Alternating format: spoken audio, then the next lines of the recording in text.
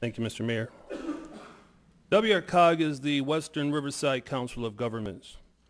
Um, S- Councilmember Randon Lane is Vice Chairman of WRCOG, Western Riverside Council of Governments. Uh, Jeff Stone is actually the Chairman of Western Riverside Council of Governments. Council of Governments, right now, they're working hard to start a fee per mile that you drive.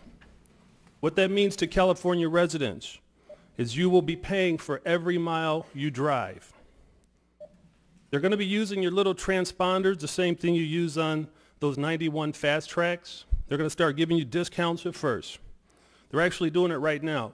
I just got my new transponder, and it actually came from SCAG, which is the Southern California Association of Governments. You could ask Randon Lane about that as well, because he's on that one as well. These groups are new regional boards taking over your local government. They are trying their best to charge you per every mile you drive. I'm talking when you get in your car, they're going to charge you. They're going to start off with 10 cents, then they're going to move it to 20. But if you look at their website, if you go to their website, they're talking about, we're going to charge you for every road you go on. So when you make a decision on which way you want to go home from work, you're going to have to decide if you can afford it or not. Kind of like when you're on the highway and you see it say $9 to go this way. That's because of this whole new crappy thing called smart growth. Smart growth has been put together by WRCOG, Western Riverside Council of Governments. They are your smart growth kings. Councilmember Randon Lane is the vice chairman of WRCOG.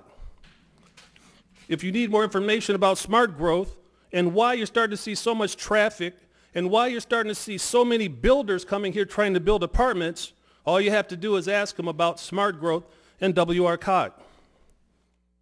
He is also the chairman of the Republican Party. I know that because I'm a member of the Republican Party.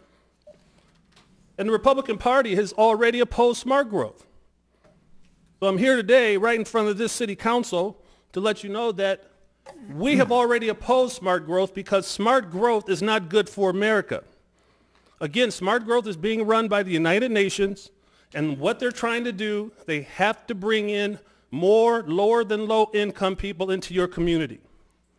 Because we started taking this money, because this community has taken the cash from the government, what's happening is you have to now fill your community with 75% below low income. Not low income, but extra low income.